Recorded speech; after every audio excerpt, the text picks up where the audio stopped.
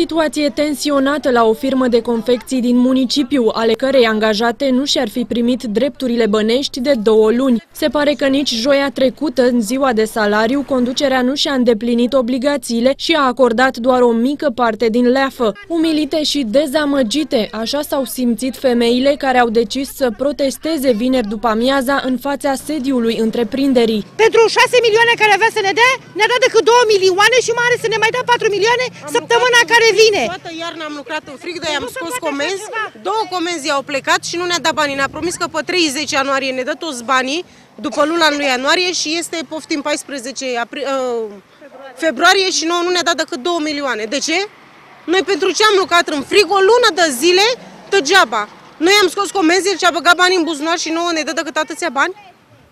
Deci noi vrem să ni se dea bani. A spus că închide fabrica, dacă chemăm televiziunea, poate să închidă oricum, noi ne-am luat bagajele, noi nu mai venim. Alături de femei a protestat și un fost angajat al societății comerciale. Angajatele susțin că patronul firmei de confecții nu a vrut să discute cu ele și a părăsit clădirea. Înainte de a pleca însă, a solicitat ajutorul jandarmilor pentru a asigura liniștea și ordinea în zona unității. Vineri, în jurul orei 14 și jumătate, jandarmii au fost solicitați să intervină în zona Istru, conform sesizării țării implicite, o persoană tulbura ordinea publică în interiorul unei societăți comerciale.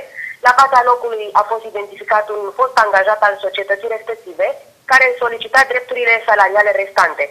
Acesta a colaborat cu jandarmii și a fost îndrumat către instituțiile competente pentru a soluționa problema pe care o are. În acest caz nu s-au înregistrat incidente. Angajatele au făcut o reclamație și la Inspectoratul Teritorial de Muncă, iar reprezentanții instituției spun că vor verifica societatea. S-a prezentat uh, un număr de angajate de la acea firmă care au solicitat mai multe uh, probleme uh, divergente de, de drepturi salariale. În numele lor a depus o colegă de-a lor o sesizare, urmând ca inspectorul de muncă să meargă pe teren să verifice cele solicitate în acea sesizare, iar în decurs de maxim 3 de zile conform legii vor primi răspuns acasă din postă funcționare de primire.